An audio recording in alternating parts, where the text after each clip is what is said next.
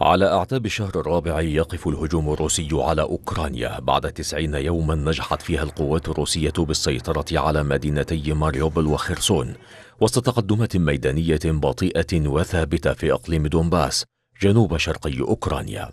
على الطرف الآخر حقق الجيش الأوكراني خلال المدة ذاتها نجاحات بمناطق شمالي وشرقي البلاد ومحيط العاصمة كييف وفي آخر تلك النجاحات طردت القوات الأوكرانية نظيرتها الروسية من محيط منطقة خاركيف في الشرق الأوكراني وصولا إلى الحدود مع روسيا.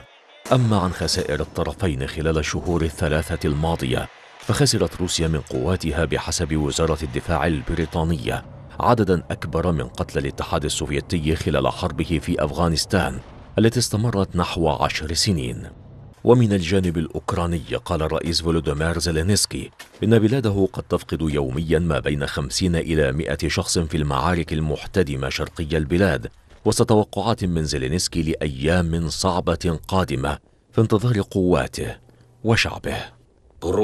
الأسابيع المقبلة من الحرب ستكون صعبة وعلينا أن ندرك ذلك لكن ليس لدينا بديل سوى القتال.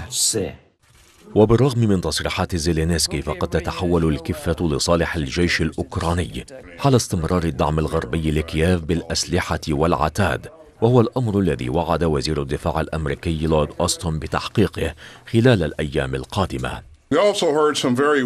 سمعنا بعض التصريحات المرحبة بتقديم المزيد من المساعدات الأمنية لأوكرانيا وهذا يشمل حوالي عشرين دولة أعلنت عن حزم مساعدات أمنية جديدة. العديد من الدول تتبرع بذخيرة مدفعية ضرورية للغاية وأنظمة دفاع بحرية ودبابات وعربات مدرعة.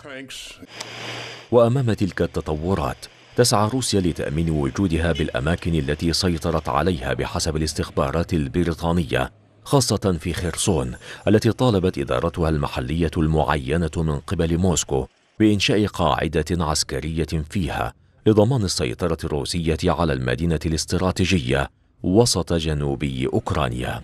وفي مسارات التفاوض بعد ثلاثة أشهر كشفت الخارجية الروسية عن تلقيها مقترحا إيطاليا لإنهاء الهجوم الروسي على أوكرانيا عبر اتفاق سلام تشارك فيه أطراف أوروبية على أن يخضع مصير إقليم دونباس وشبه جزيرة القرم لاتفاق ثنائي بين موسكو وكييف. أيمن جاد تي أر تي عربي.